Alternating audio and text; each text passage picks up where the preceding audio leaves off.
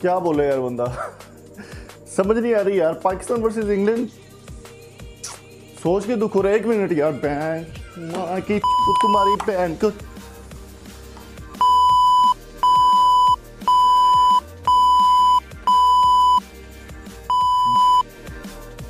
क्या ये, क्या मैच खेल रहे हो? क्या कर रहे हो? ये मैच है? अफसोस है यार। पाकिस्तान वर्सेस इंग्लैंड का जो मैच हो रहा है तीसरा टेस्ट अब खेला जा रहा है। तीसरे टेस्ट में क्या परफॉर्मेंस दिया? पाँच सौ पैंसठ रन यार, ये एक पहाड़ है रन का। तुम लोगों के बस की ये बात ही नहीं है।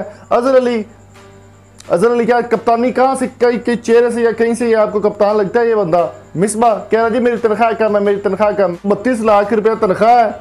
मेरे जैसे यहाँ पे, हम जैसे जो है वो सारे, हमारी तनख्वाह कम है। बत्तीस लाख रुपया, दिन का लाख रुपया लेते हो एक दिन का। ये परफॉर्मेंस दे रहे हो, ये काम कर रहे हो आप लोग। अफसोस है यार परफॉर्मेंस देख लो पाँच सौ पैंसठ का रन टारगेट एक हाई लेवल टारगेट है। और इंग्लैंड ये कहता है जी, हम इंग्लैंड से कम नहीं है, हम ये कर देंगे, हम वो कर दे। बाबर आज़म क्या कहता है जी, कोई कुछ कहता है, कोई कुछ कहता है। सारे फूस होकर रह जाते हैं। अब ग्यारह रन पर दो आउट होकर बैठे हैं। यार ये परफॉर्मेंस है तुम लोगों की। अफसोस होता है। अगर बात करें इसकी परफॉर्मेंस की तो अभी देखना होगा कि ये साफ़ सी बात है, जीत तो नहीं सकेंगे ये।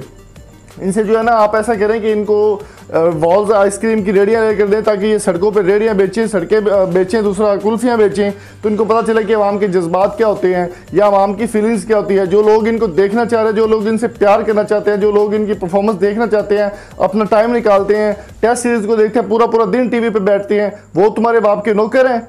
जो इतनी देर तुम्हारा इंतज़ार करें। अब मिसबा को देख लो जी, बत्तीस लाख रुपए तनख्वाह ले रहा है। बत्तीस लाख तनख्वाह किस चीज़ की भाई तुम ले रहे हो? जहाँ पर जो मेन बॉलर्स हैं, उनको खिलाया नहीं जा रहा। नया टैलेंट सामने लाया जा रहा। वही घिसे पिटे घिसी पिटी जो है सिलेक्शन घिसा पिटा काम, वही अट अटा के दिखा रहे हो। यार, ये लॉलीपॉप कब तक दोगे आम को? यार रैम करो हमारे ऊपर। खुदा का वास्ता तुम लोगों को। अगर परफॉर्म नहीं होता तो जाओ, बाढ़ में जाओ जाके कुछ चने बेचो को, कुल्फियाँ बेचो कोई और काम कर लो। अगर तुमसे क्रिकेट नहीं खेली जाती तो।